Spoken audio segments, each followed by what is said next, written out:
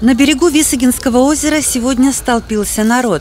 Люди с замиранием сердца следили за тем, как водолазы пытаются спасти провалившихся под лед мужчин. У нас сегодня проходят э, плановые учения водолазов Висагинского пожарного управления.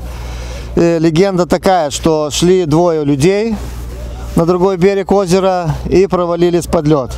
Один из них сумел удержаться на воде, второй утонул.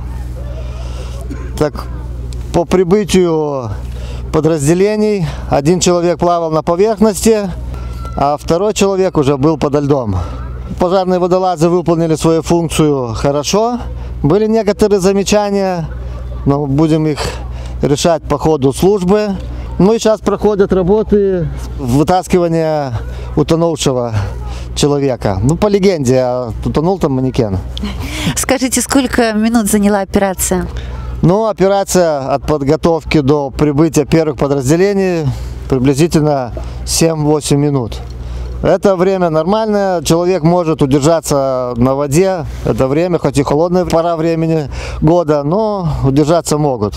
А что нужно делать, поинтересовались мы, чтобы как можно дольше продержаться на поверхности и не уйти под лед? Желательно скинуть э, теплую зимнюю одежду, куртки, они больше всего набирают воду, начинают тянуть обувь, тоже начинает тянуть. Не паниковать, стараться не тратить энергию, стараться подать сигналы бедствия и держаться на льду руками, стараться, чтобы меньше энергии уходило у человека. Как часто на практике водолазам удается все-таки спасти утопающего?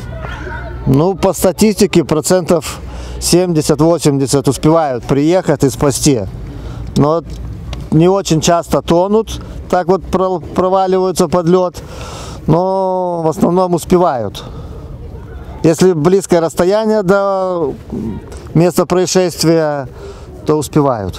На эти плановые учения пожарные спасатели пригласили группу школьников. Стоя на пирсе, они внимательно наблюдали за действиями профессионалов. И, надо думать, навсегда усвоили этот наглядный урок и поняли, что на льду может случиться непоправимое. В данный момент, я думаю, есть еще водоемы, на которых будет лед, но одной из самых важных мер предосторожности будет остаться в это время дома и не ходить на лед.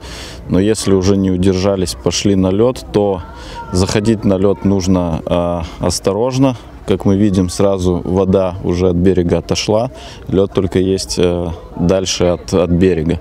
Зайдя на лед, нужно продвигаться с, с пешней, э, ударяя пешню о лед, тем самым мы удостоверяемся, что лед прочный. Если при малейшем опасении, что лед будет хрупкий, он проваливается, возвращаемся обратно. Обратно возвращаемся по тому пути, где мы пришли, по которому пришли.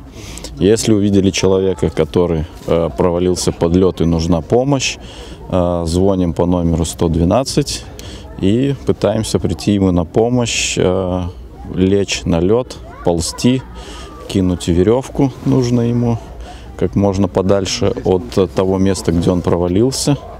И вытащив его на лед, э, сразу не встаем, кувырками перекатываемся к тому месту, где был прочный лед, где мы откуда пришли, и двигаемся это, в теплое место. Сразу же надо снять одежду, растереться э, сухими полотенцами, э, тряпками или еще чем-то и одеть теплую одежду по возможности, пить теплую жидкость, исключать алкоголь.